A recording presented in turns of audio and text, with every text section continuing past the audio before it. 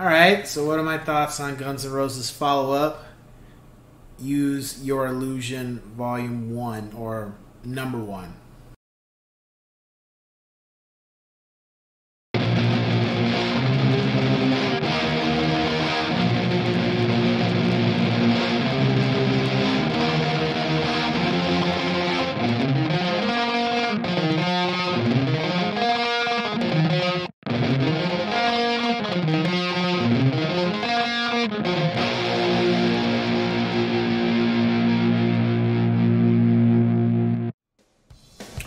On, ladies and gents? It's Cyberline coming back to you with another album review.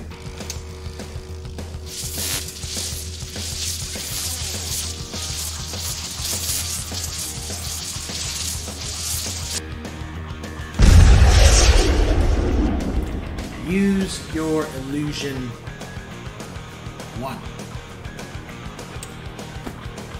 So, when I got to use your illusion one and two, I bought them when I bought Appetite for Destruction, and I, I think the only song I kind of knew was November Rain, maybe briefly, but nothing outside of um, You Could Be Mine. I knew anything. So, I actually kind of bounced around between both albums, but the point is, when I put in Use Your Illusion 1, I was like, okay, you know, right next door to hell, really just kicked the album off in a great way for me. And I was excited. It's like, okay, this is not a long song, but I'm enjoying it. But then all of a sudden, Dust and Bones came on. I was like, what the hell is this? I was like, you guys had an aggressive song. And like Appetite, you had a couple aggressive songs, and then you kind of had a uh, mellow out song. What the hell is this shit? So at first I was like, okay, keep in mind, you know, you've listened to a lot of bands. This is probably not the whole album because I, I had not heard anything from this album outside of uh, November Rain, and that was only bits and pieces of it. Dust N' Bones was like, okay, well, I do know blues, and fine. Next song, Live and Let Die. Okay. This is where I had a problem. I, again, as I've said in a couple other times with reviews, I'm not a fan of covers, so um, already I'm going to say I am not a fan of this song. This is the I don't care for track for this album, even though the album is still good. I just don't care for the cover of this or and I'll get to volume two with that too. But I didn't. I don't care for this color. I thought it was. I just don't like it. And then we get to Don't Cry. I was like, oh okay, cool. We we back in like a ballad, but it's it's it hits. It's like all right. Perfect Crime was cool. You Ain't the First was like, mm, okay. We got a little bit of this Southern country thing going on. And then Bad Obsession and Back Off Bitch and Double Talkin' Jive. Like, Double Talkin' Jive really got my attention outside of Right Next Door to Hell. And then November Rain, The Garden, I love that. And then, you know, for the most part, it was, it was cool. But I'm not gonna lie. To me, Use Your Illusion 1 took a lot more time to grow on me than, than Appetite. And it just was like, I understand what's what you're trying to change, not just be full hard rock and, and almost almost slight metal. But at the same time, I think what hurt this album is really only one thing. Uh, it was the damn piano. The piano was just too much in this album where it should have been maybe a track or two.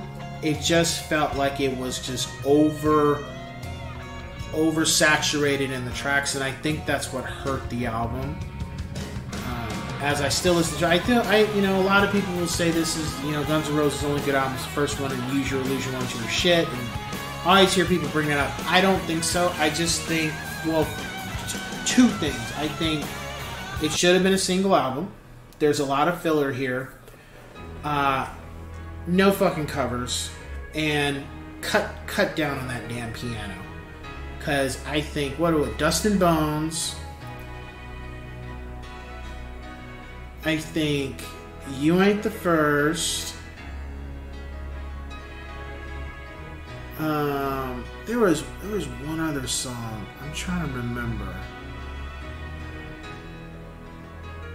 What was it? I think it was Bad Obsession. But I it's and I, I don't dislike the tracks. It just felt like overall it just felt like a little too much damn piano. And I could be wrong with the tracks that I'm naming. I know double. Um, I know um, Dusted. Um, Dust N' Bones had it definitely, but it just overall felt like in November Rain. But it just felt like there was too much damn piano on this album.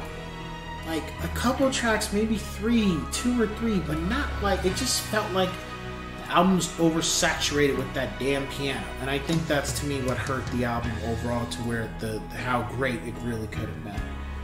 And then also you hear behind the scenes, Axl is being, you know, well, this is I'm listening. I'm way after it's been released and it's had its fan base and stuff. But then you find out Axl was being really controlling during the making of the album, and he was kind of being low key, I guess, for low key to an extent, being a dick. And I think that's kind of what hurt the album. Slash really and Izzy were really, really the rest of the band wanted to be still another rock album with elements of the ballad thing, and I think Axl was taking the ballad shit a little too far, and the album ended up being the way it was. Rating for the album is a 9 out of 10 because I still think it's a solid album, but I feel like what hurt it from being a classic is that it's two albums and it really should be one. There's there's filler because you know, and the biggest thing is that that damn piano. so uh, top five tracks: Right Next Door to Hell, November Rain, The Garden, Don't Cry, and Double Double Talkin' Jive. So I, I just say if you like blue, because this is more of a blues slash hard rock or hard rock slash blues. If you like blues, you'll like this album because it kind of gives almost like a new, know, like a southern vibe kind of thing when you listen to it. Almost, I felt like Leonard. I even know I don't really know much from Lynyrd Skynyrd, but I felt like some of these songs kind of gave me a vibe of Skinner, Skynyrd, I guess you could say. So, otherwise, mm, solid. Just you know, it's one of those things. So, cue the music.